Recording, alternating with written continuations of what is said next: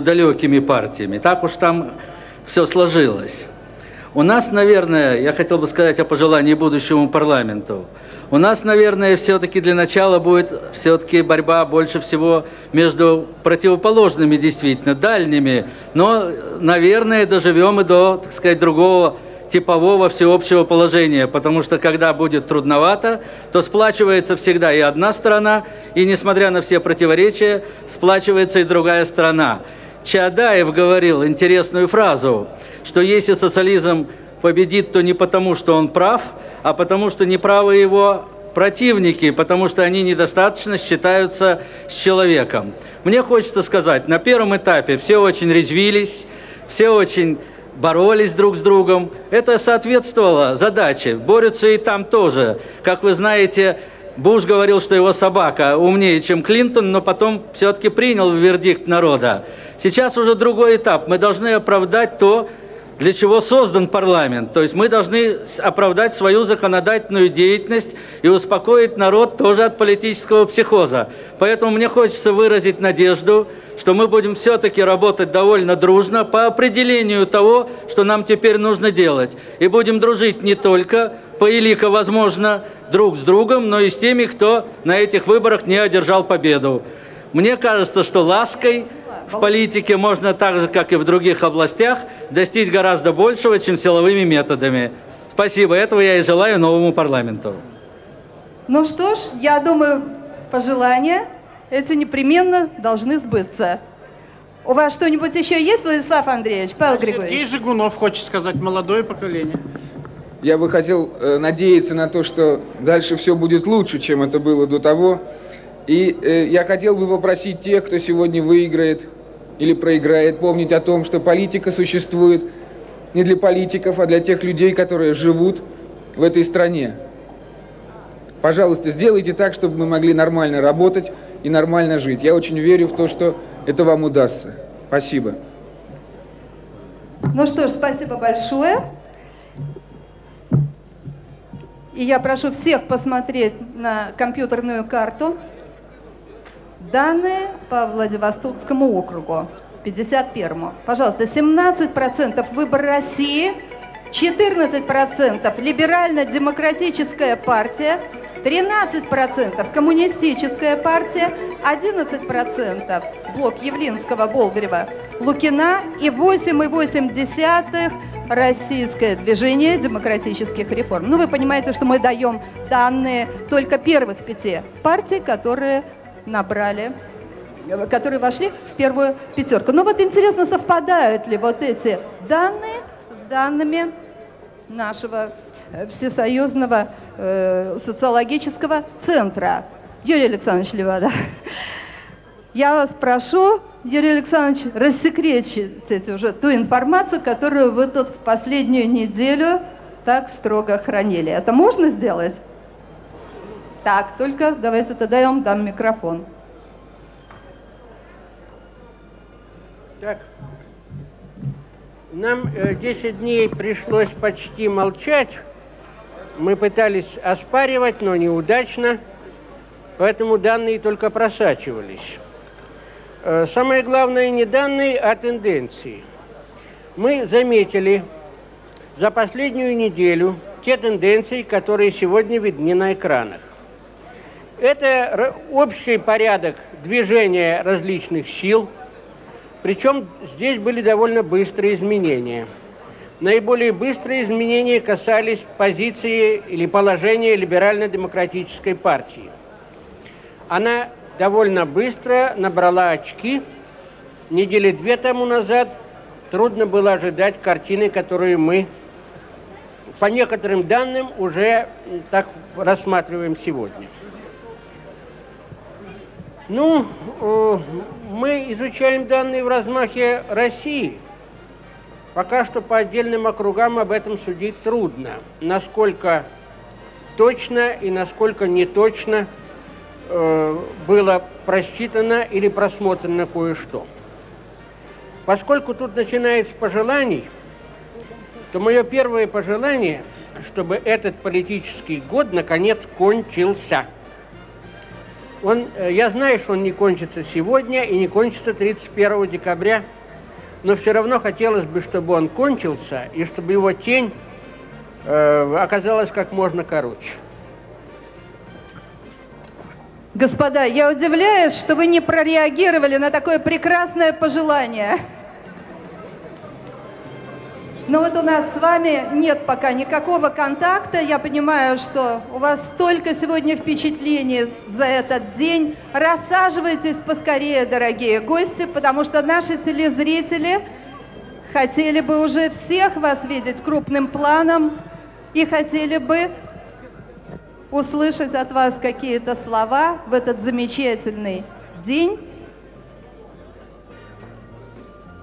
И не забывайте, пожалуйста, о данных опроса. Посмотрите, пожалуйста. Вот нам показывают данные по Владивостокскому Тамара, округу, но мы к их нам уже, вот подошел видели. Эдуард Цыгалаев, которого, я думаю, не надо представлять нашим зрителям. И тем не менее вопрос. Вы ждете каких-то сенсаций сегодня? Вы знаете, я хотел бы вообще сказать не как журналист сейчас, а как гражданин этой страны и просто как человек. Э, Меня очень беспокоит то, что сенсацией сегодня становятся такие человеческие чувства, такие понятия, как доброта, сострадание, милосердие, любовь. И вот мне хотелось бы побольше таких сенсаций, мне хотелось бы, чтобы эти понятия помнили те, кому сегодня мы отдали свои голоса, чтобы они помнили о том, что они люди, и думали о нас, об избирателях, как о людях, и чтобы думали с добрым чувством в своей душе, в своем сердце. Вот, вот этой сенсации я бы очень хотел. Ну, значит, мы не зря сегодня все собрались. Спасибо вам большое. Спасибо. Спасибо.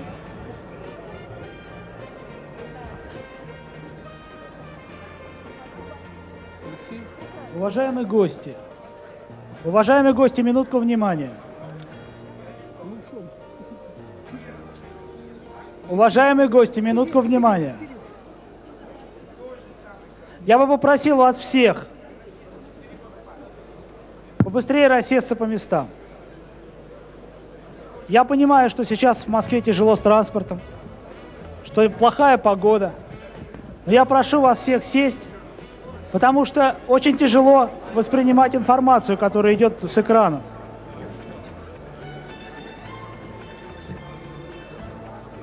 Итак, читать телеграммы телезрителей, которые сегодня поступают. Телеграммы в дворец, ларец пожеланий.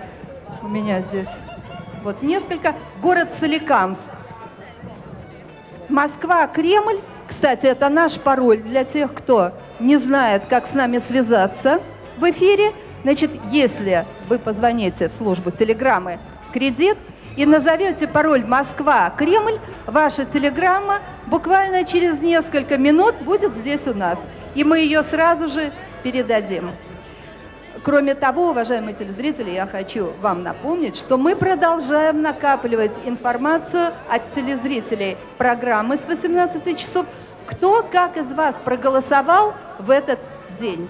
Пожалуйста, звоните по нашему телефону в Москву все телефоны работают на прием междугородней связи, и вы можете сообщить, как вы в этот день проголосовали. Ну, а теперь телеграммы. Вот одна у меня из города Соликамска. Москва, Кремль, так и написано, ларец желаний. Ребята, давайте жить в парламенте дружно. Махров. Телеграмма из Тюменской области. Радужный поселок. Привет вам, хорошие уважаемые участники. В путь добрый, спартанского здоровья и мудрости в парламенте. Еще одна телеграмма из Покровского. Правители, господа. О, эта телеграмма очень интересная. Она в стихах. Правители, господа, затяните не вода, сохраните Русь такой, чтобы русский народ обрел былую силу, счастье и покой. Не торгуйте вы землей, дайте же вы ей покой, она всех отблагодарит. И с помощью русского мужика весь мир насытит. С уважением, Нагорный Степан Алексеевич, Ростовская область, Неклиновский район. Степан Алексеевич, спасибо вам большое за эту телеграмму, и она будет лежать в ларце пожеланий. Ну что ж, мы продолжаем. Вот, по-моему, уже почти все гости расселись на свои места. Вы видите, сколько зарубежных корреспондентов здесь работает. Ну, конечно, в первую очередь всех интересуют данные опросы, которые появляются на наших компьютерных картах. Посмотрите, пожалуйста, данные опроса телезрителей по проекту Конституции. Это данные уже, суммирующие ту информацию, которую мы накопили с 18 часов. Значит, за проект Конституции, вы видите, среди наших телезрителей проголосовало 74,6%, и не согласились с этим проектом 25,4% телезрителей. Мы продолжаем принимать данные от наших телезрителей и будем сообщать их вам.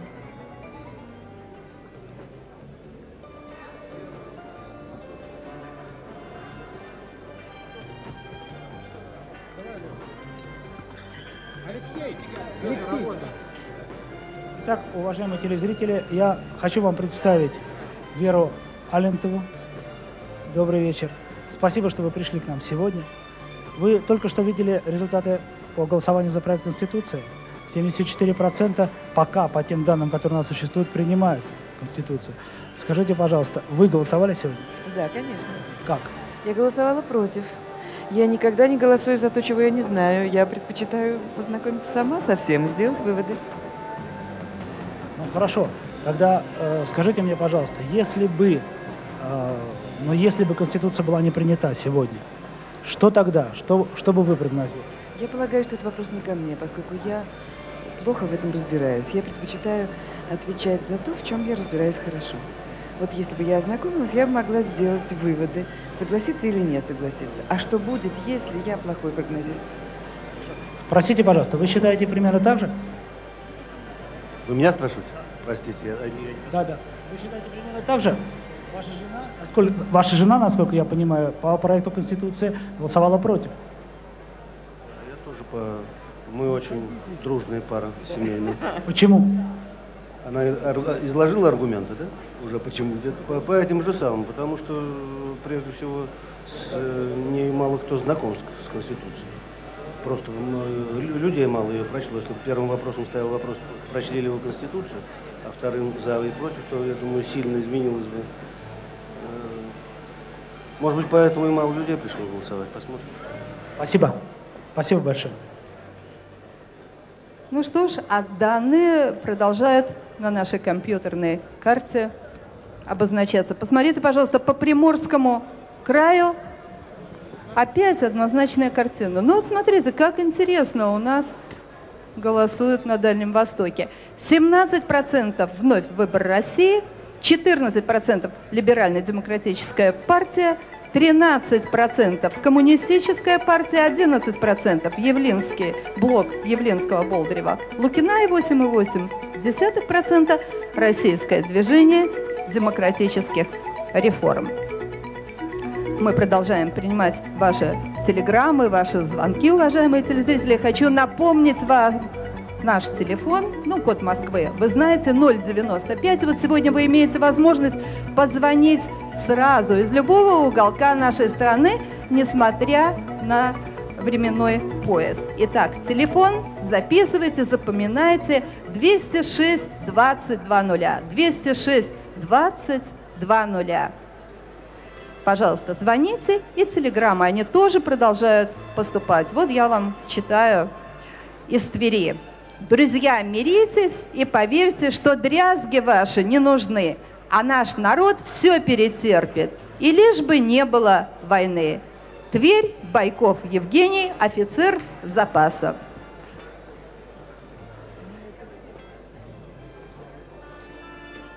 Так, а вот смотрите, нам дают данные опроса телезрителей из города Москвы по проекту Конституции.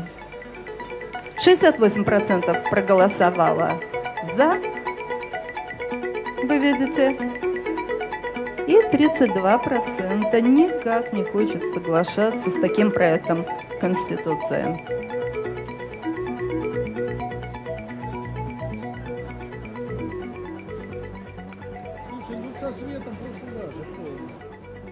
Так, дорогие гости, я хотела бы, чтобы вы все-таки рассаживались по своим местам.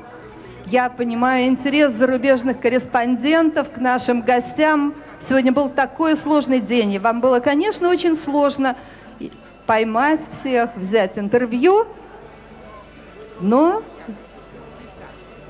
мы здесь собрались на встречу нового политического года, и, конечно, все это можно совмещать приятное с полезным но, наверное, не так активно. Так, а вот смотрите данные по Санкт-Петербургу. Это опять данные опроса телезрителей. По выборам в Государственную Думу мы имеем такой результат среди телезрителей. Вы помните, что телезрители – это самая активная часть общества, телезрители, которые принимают участие в нашей программе «Общественное мнение», имеют они совершенно полярные взгляды. И вот вы видите, как они, как они проголосовали за партии. Блок «Выбор России» 62%, Либерально-демократическая партия 13. Вот смотрите, интересно, в Санкт-Петербурге какой разрыв – Демократическая партия России 6, 6,9 и 6,9 Коммунистическая партия России и 6,9 блок Явлинского, Болдырева, Лукина. Но я повторяю, что это данные опроса телезрителей, активной части населения. Уважаемые телезрители, как вы видите, наши гости еще не расселись. А, но я понимаю, что э, многие задержались, многие сейчас только-только рассаживаются. Много работает зарубежных агентств, и поэтому э, у многих сейчас наших гостей берут интервью, поэтому наберитесь терпения. Плюс к этому данные, которые мы ожидаем, ну, наверное, где-то к 12, к началу первого, э, начнут поступать, более интенсивно. Что бы мне сейчас хотелось сказать? Мы уже рады тому, что сегодня здесь, в Кремлевском дворце, собрались все эти люди – Потому что э, их ну, в последние месяцы разделяло очень многое. Их разделяла предвыборная борьба, их разделяли предвыборные баталии, их разделяли предвыборные выступления по телевидению. Вы знаете, что не всегда они были корректны. Сегодня мы бы хотели, чтобы э, впервые за последнее время э, они сели все вместе в этом зале, они посмотрели в глаза друг другу, и они договорились, что какие бы разногласия в будущем их не разделяли. В новой Государственной Думе они будут работать, ну, наверное, не так, как их предшественники.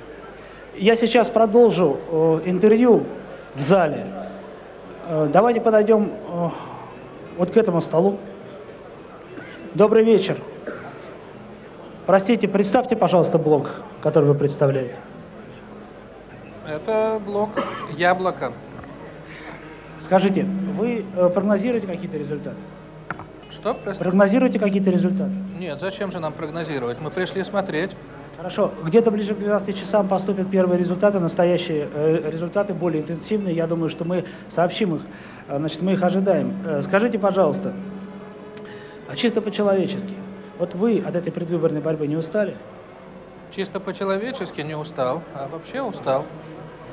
Скажите, у вас и, может быть, немножко для сегодняшнего вечера необычный вопрос. У вас есть какое-то хобби, увлечение? Хобби? Как вам сказать? Увлечение есть, а хобби нет. Какое?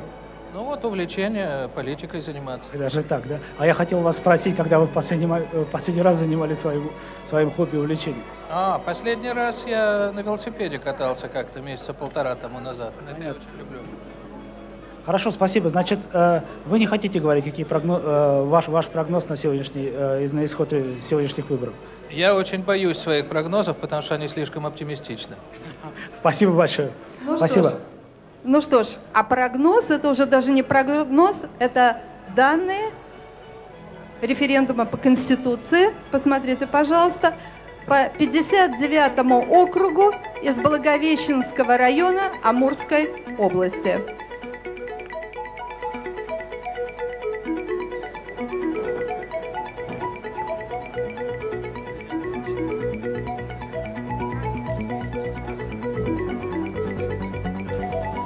Вы видите, какие результаты.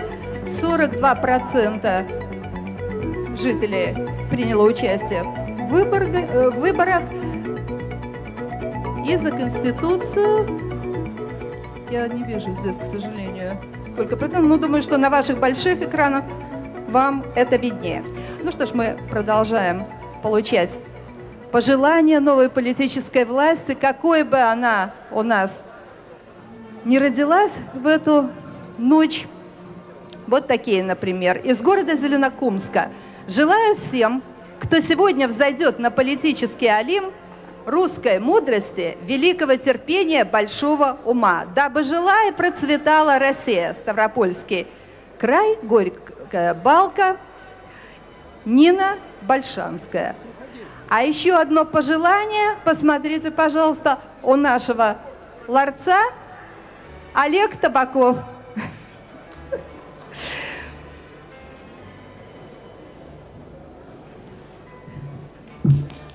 Вы знаете, э, момент критический. У Жириновского 14%, у коммунистов 17%. Значит, в этот момент сказать что-то по поводу Конституции, ну что ты за, и по поводу выбора России, что ты тоже за, это, во-первых, прийти в конфронтацию с давним товарищем и приятелем, сидящим справа, и не менее давними знакомыми, сидящими слева. Я имею в виду Корякина. Значит, единственное, что можно сказать в этот момент, все-таки мы это делаем свободным волеизъявлением, с чем я вас всех и поздравляю. Думали ли, надеялись ли лет 5-6 тому назад, что такое свершится? Возможно, среди вас есть такие пифии, которые рассчитывали на это, но я отношусь к числу тех провинциалов, которые явно воспринимают это как большой и долгожданный сюрприз. Стало быть, свободное волеизъявление. Вот с чем я хочу вас еще раз поздравить. Всего вам доброго на этом пути. Господа, но я понимаю, что мы давно с вами не встречали никаких праздников. Ну почему же вы не реагируете? Здесь же по всем правилам этикета полагаются аплодисменты.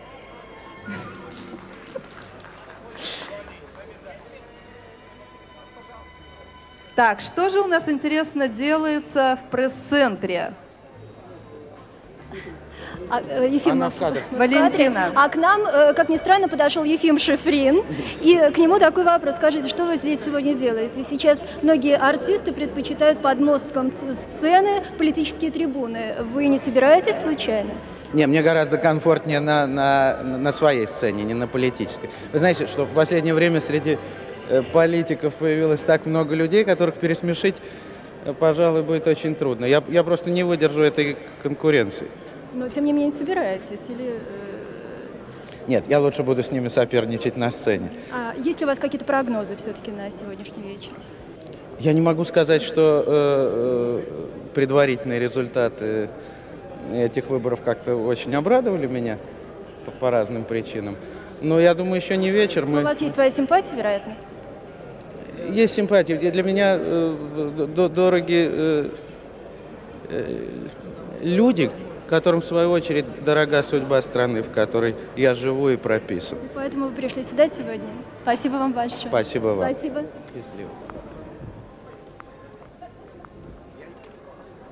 Ну что ж, я вижу уже за столом правительства появились какие-то гости. Алексей, вы видите? Кто там уже пришел. я думаю, нашим телезрителям тоже хотелось бы узнать, какое настроение.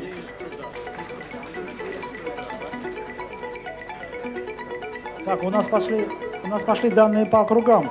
Тамара. Да, да. Господа, товарищи телезрители, внимание!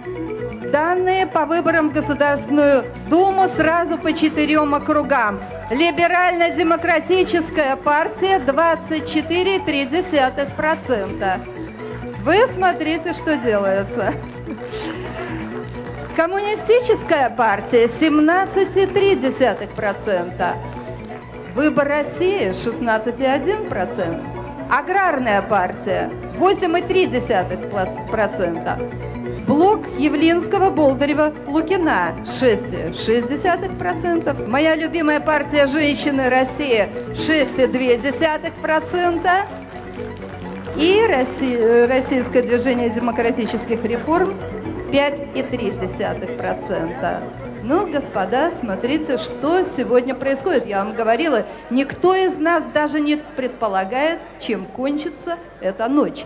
Тем более, я хочу напомнить вам, что буквально, наверное, через 20 минут, у меня вот здесь нет часов, буквально через 20 минут наступит 13 число. Вы представляете, что будет 13 числа? Но не теряем оптимизма, не теряем оптимизма. Так.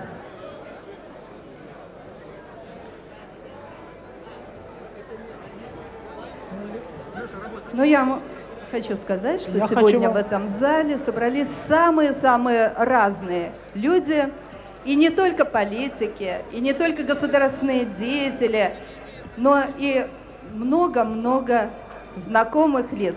И вот один из них – это народный целитель, почетный академик Академии энергоинформационных наук Александр Ильин. Ну, я думаю, сейчас мы услышим прогноз на будущее. Так, Александр? Сейчас попробуем. Добрый вечер. Я очень рад, что э, я попал вот на такую необычную тусовку. И здесь очень много необычных, интересных людей. И мне кажется, что э, то, что я сегодня скажу, для кого-то покажется, конечно, необычным, потому что жизнь нам иногда подбрасывает такое, что мы иногда каждый день удивляемся. Сегодня здесь собрались очень интересные люди, каждый, э, который, э, каждый из них это личность. И мне кажется, что э, сегодня создается новое будущее России. И я очень рад, что сегодня здесь сидят разные блоки. И я бы хотел сегодня сказать несколько слов, чтобы мы все дружили. И, конечно, мне кажется, одной из главных партий э, в новом э, будущем все-таки, мне кажется, я могу ошибаться, но все-таки господину Жириновскую, либерально-демократическая партия. И я бы очень хотел, чтобы все дружили, умели дружить. И дай Бог вам здоровья, потому что сегодня выбор за вами. За вами, дорогие люди, политики. Спасибо. Спасибо, Александр. Алексей, как настроение в зале? Ну, у нас в зале э, очень много народу, э, люди все еще подходят, так что я надеюсь, что э, в скором времени э, все рассядутся, все э, как-то, так сказать, э, более точно начнут работать и реагировать на результаты. Я бы хотел взять сейчас интервью вице-премьера э, правительства России Анатолия Чубайса. Скажите, пожалуйста, как вы вообще оцениваете ход предвыборной кампании?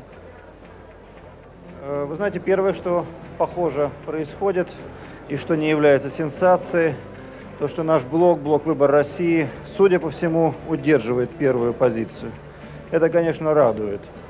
Но в то же время я думаю, что очень дорогую цену мы заплатили за то, что демократы не сумели договориться, за то, что личные амбиции возобладали над здравым смыслом. И моя личная оценка, да, в общем, и оценка блока «Выбор России» состоит в том, что победа или второе место фашистской партии в России – это страшная цена, страшная цена за то, что демократы не сумели между собой договориться. Остается рассчитывать на то, что немедленно после 12 числа мы сумеем исправить те ошибки, которые совершили сами до 12 числа. Абсолютно необходим жесткий блок, жесткая коалиция демократов против фашистской угрозы в России.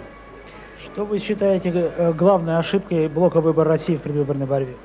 Ошибка одна. Она состоит в том, что мы опять занимались реальной работой. У нас у всех есть свои обязанности, которые с нас никто не снимал.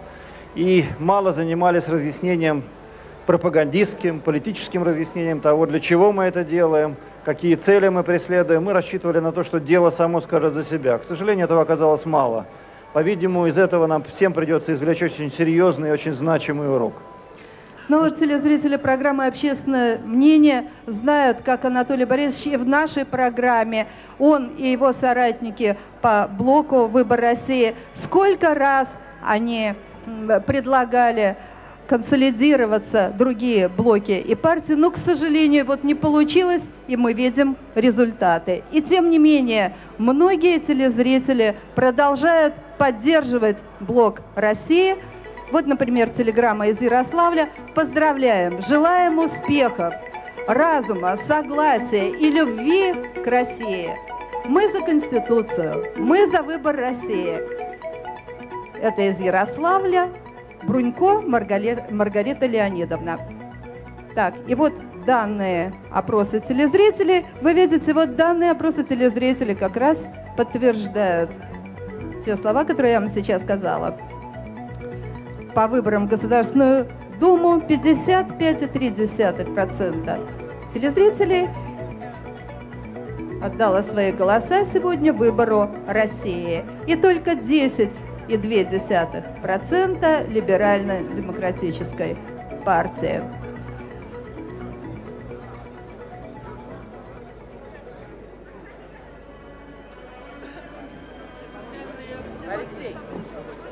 Я хочу вам э, представить, наверное, самый э, прекрасный стол в этом зале. Стол блока «Женщины России». Добрый вечер, спасибо, что вы к нам пришли. Скажите, пожалуйста, вы прогнозируете как какой-то исход выборов? Ну, что касается нашего блока, мы себе прогнозируем все-таки победу, что мы перейдем этот перевал очень сложный и трудный, и что мы будем в Думе.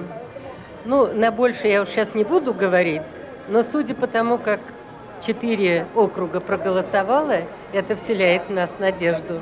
Скажите, но результаты лидирующих блоков сейчас на данный момент довольно неожиданно, ошеломляюще. Скажите, пожалуйста, вы, э, наверное, тот самый блок, который сможет сейчас даже в этом зале внести какую-то ну, струю умиротворения, что ли. Скажите, как вы это вообще собираетесь сделать? Ну, вы знаете, вы хотите, чтобы мы вам все секреты сразу раскрыли, это, по-моему, невозможно. Вообще женщина всегда очень интуитивно чувствует, когда, в какой миг ей вступить, э, на какой ноте ей надо держаться. Я думаю, что наш час сегодня еще не настал. А Мы можем сидеть. А потом сегодня есть возможность посмотреть на все партии, на всех мужчин и определиться нам все-таки, что делать дальше. Спасибо большое. Спасибо. Но я надеюсь, на следующих выборах мужчины поддержат женскую партию, потому что без женщин вам, дорогие мужчины, никак нельзя, и особенно в политике.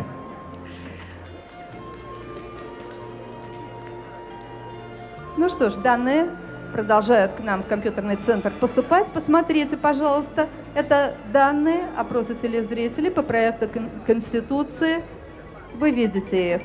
76,5% Конституцию все-таки поддерживают.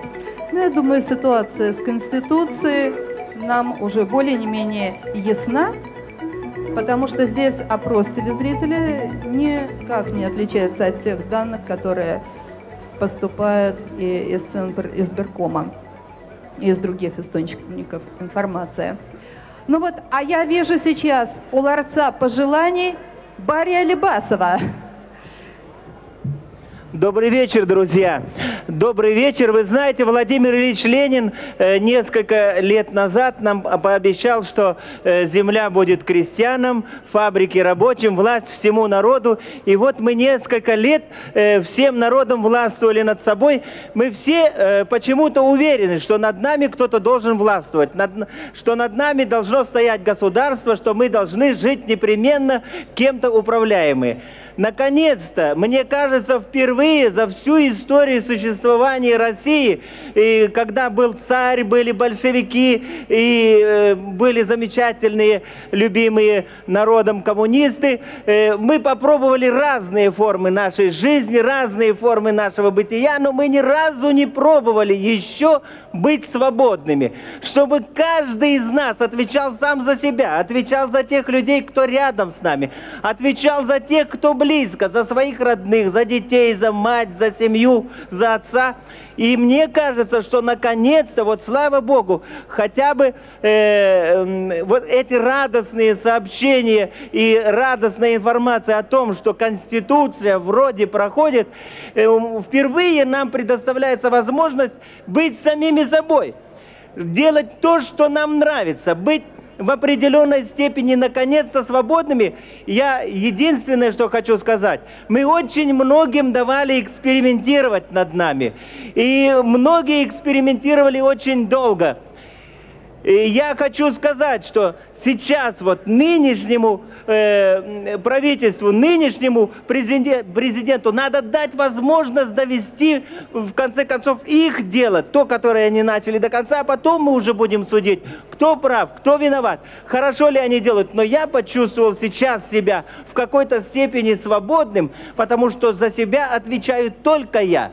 И это впервые э, в, мне кажется, впервые в истории государства, да, есть бабушки, есть пенсионеры, есть люди, которые сейчас живут очень плохо. Но я надеюсь, я уверен, что рано или поздно мы, те, кто умеем за себя постоять, мы, те, кто умеем э, наладить жизнь, создадим возможность для того, чтобы люди, э, которые, может быть, в какой-то степени не способны э, жить нормально, мы сможем им помочь. И только благодаря тому, что наконец-то сегодня была, э, наверное, будет принята Конституция, за которую, э, которая дает возможность нам наконец-то быть свободными и каждому нести ответственность за себя и тех, кто с ними рядом. Спасибо большое. Я думаю, что это настоящий праздник и это настоящее достижение нашего народа за многие века. Спасибо.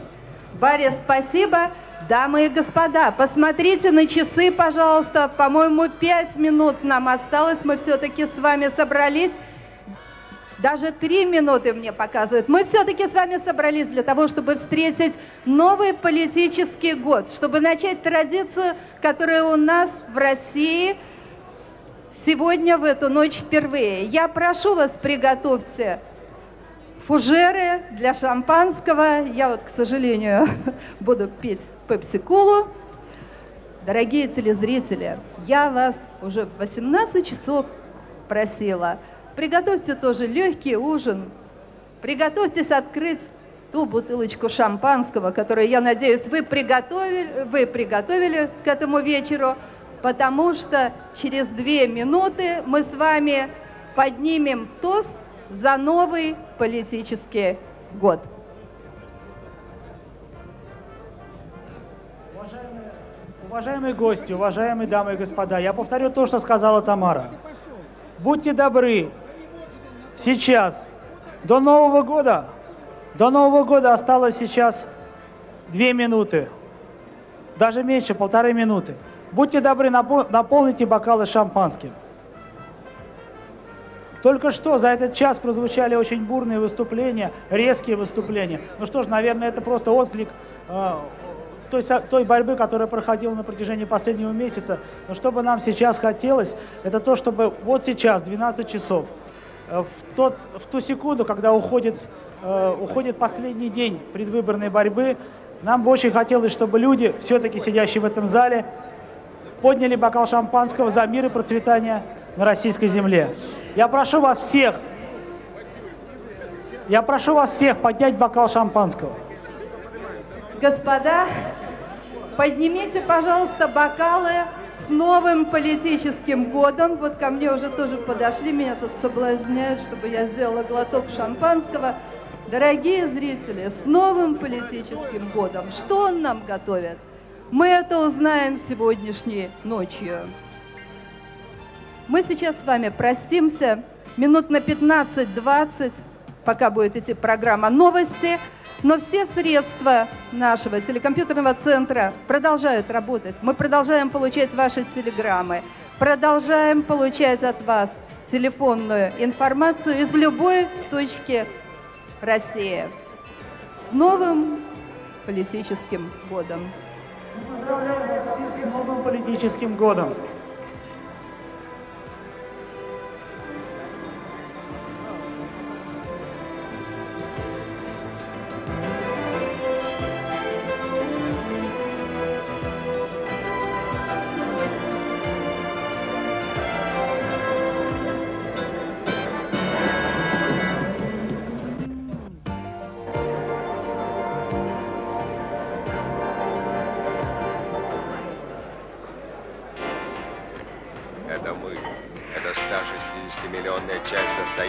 России, твоя часть. Твой ваучер. Как распорядиться ваучером? Кому доверить? Доверяя свой ваучер МММ, вы связываете свое будущее с лидером российского бизнеса. Мы смогли заработать деньги для себя, мы сможем заработать их и для вас. Нас знают все. Мы были вчера, мы есть сегодня, мы будем завтра. Мы сделаем ваш ваучер золотым. МММ Инвест. Знаете, что это такое? Это промстройбанк. В нем куча денег для всякого завода, предприятий и строительства. Это мой бизнес-банк. Занимается всяким бизнесом. Он очень солидный. Это Сбербанк. Куда ни глянь, везде Сбербанк. С ума сойти. Если бы они бы купили бы мне жвачки бы, то я бы надул бы шар бы размером с землю. Суммарный капитал этих банков превышает половину денежного достояния России. Все они являются учредителями и акционерами Московского инвестиционного фонда. Не самая плохая компания. Присоединяйтесь. Московский инвестиционный фонд. Это Россия. Это совокупное достояние России. Это мы. Это 160-миллионная часть достояния России, твоя часть. Твой ваучер. Как распорядиться ваучером? Кому доверить? Доверяя свой ваучер МММ, вы связываете свое будущее с лидером российского бизнеса. Мы смогли заработать деньги для себя, мы сможем заработать их и для вас. Нас знают все. Мы были вчера, мы есть сегодня, мы будем завтра. Мы сделаем ваш ваучер золотым. МММ.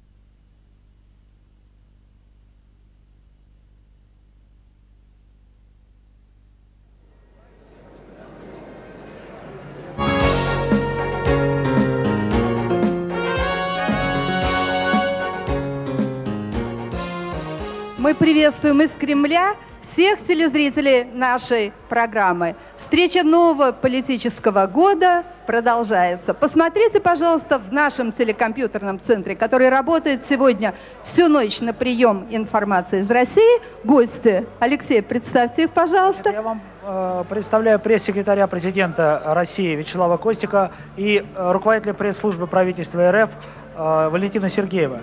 Как бы вы могли прокомментировать ход э, выборов э, за 12 декабря?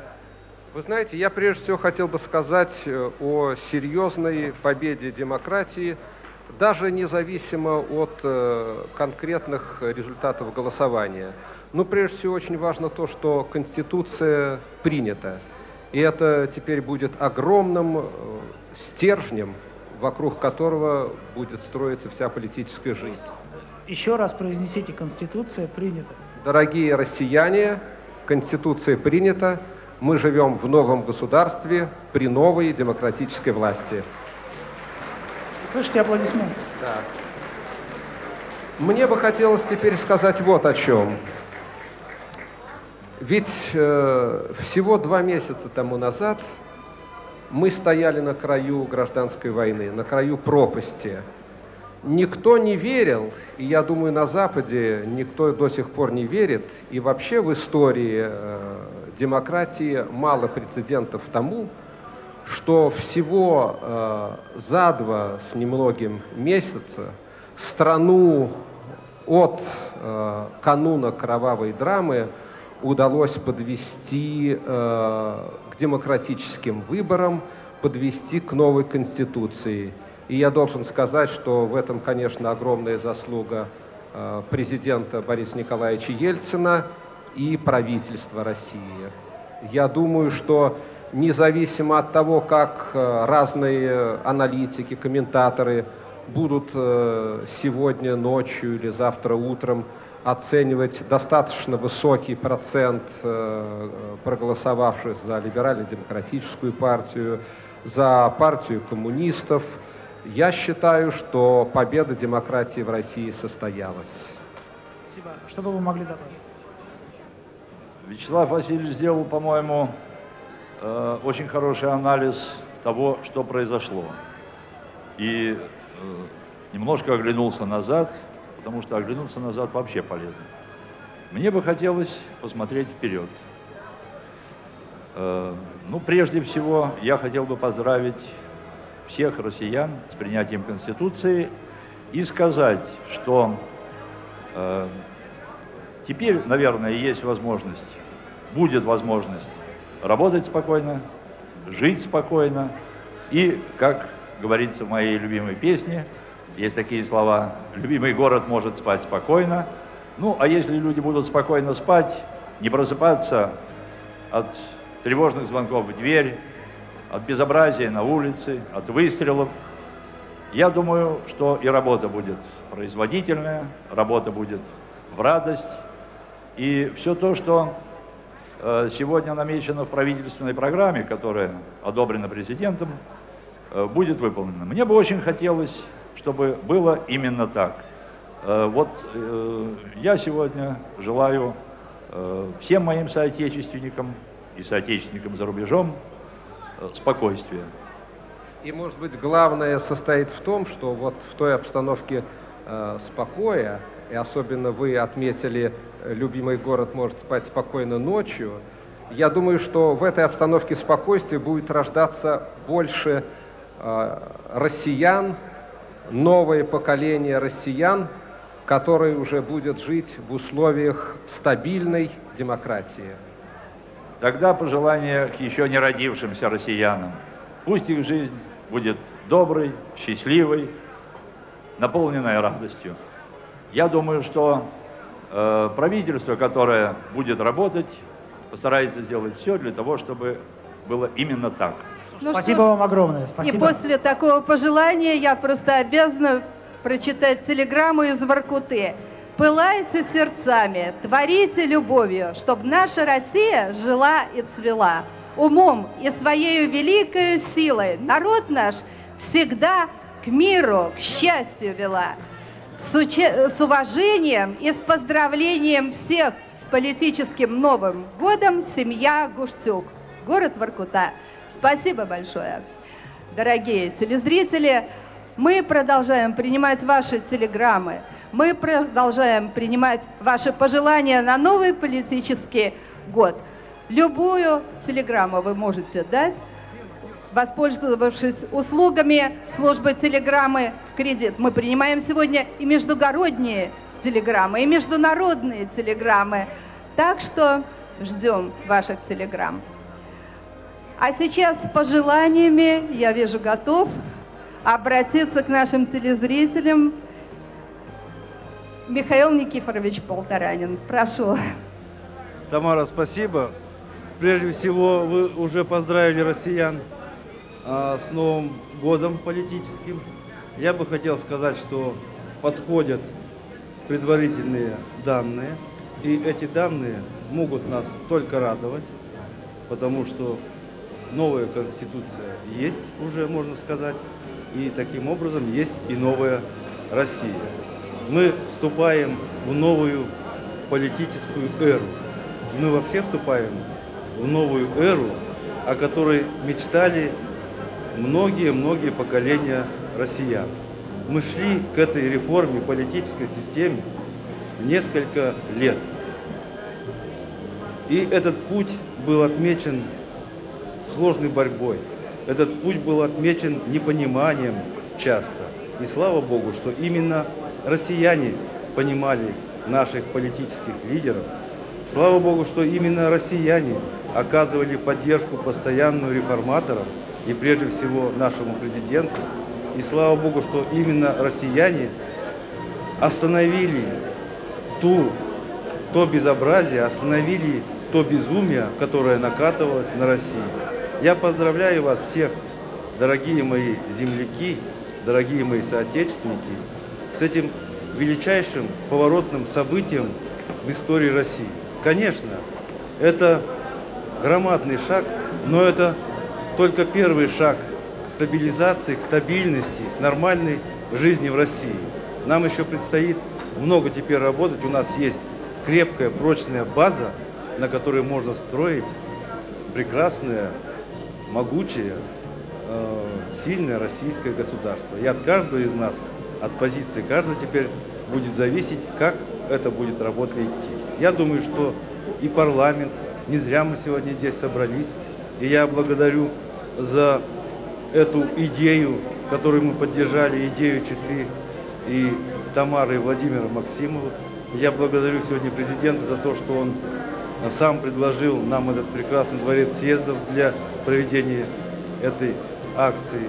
Так вот, не зря мы здесь собрались, чтобы наконец-то, э, получив новую конституцию, получив в руки новую Россию, подаренную, как говорится, или данную народом э, в руки э, парламентариев, мы бы повышали и культурный уровень, чтобы новая культура парламентаризма была, чтобы этот парламентаризм стал основой взаимодействия между властями, между ветвями власти. Я еще раз благодарю всех за то, что каждый из нас сделал, и поздравляю наших россиян с новым политическим годом. Этот год, то есть этот день, 12 декабря, я думаю, войдет в историю России как праздник демократии. И к этим пожеланиям присоединяется из города Сочи телезритель Мамедов. Уважаемые братья и сестры, сегодня мы отдали свои голоса за вас. Надеемся, вы разумно защитите наши интересы. У всего человечества в мире одна мать и один отец, ибо мы все родные. Никогда не допускайте кровопролития. Поздравляю от души с новым политическим годом и желаю всем-всем удачи. Как вы знаете, у нас сегодня много здесь зарубежных наблюдателей. Я хочу представить вам первого заместителя председателя парламента Швеции, господина Алем Юра. Скажите, я знаю, что вы сегодня побывали на выборных участках. Какие впечаtlения? Stig Alemyr, du har varit i vallokaler idag. Vad har du för intryck? Jag är ganska imponerad utav eh, det omfattande arbetet som меня произвело довольно сильное впечатление от той работы, которая проводится. Det var en komplicerad valprocedur med många listor och många namn att pricka för. Och jag upplevde att valarbetarna mycket skickligt berättade för väljarna hur de skulle göra. Там довольно сложная избирательная процедура, много списков, много фамилий, где нужно э, подметить свои пожелания. Я так понял, что избирательные работники э, очень хорошо объясняли людям, как они должны это делать. Были ли допущены какие-то ошибки с вашей точки зрения? Enligt din uppfattning, har det begåtts några misstag? Jag har inte sett några. Я никаких не видел. Что вы ждете от выборов в России? Vad väntar du dig av eh, det här valet i Ryssland? Ja, Vi, vi hoppas på ett starkt ryskt parlament som kan genomföra en radikal förändring av landets ekonomi och på fredligt sätt samarbeta med hela Europa. Мы надеемся на сильный российский парламент, который может провести коренные реформы экономики страны и мирным путем сотрудничать с другими странами. Есть ли у вас какие-то прогнозы свои? Eh, har du några särskilda prognoser? Nej, det, det, det kan man inte ha. Från min horisont kan man inte ha det. Да нет, с моего горизонта не могу этого иметь. Спасибо. Ну что ж, а если раз мы заговорили о прогнозах, господа, я знаю, что в нашем зале сегодня находится предсказатель, прогнозы которого почти всегда сбываются. Павел Глоба и его прогноз на будущий политический год.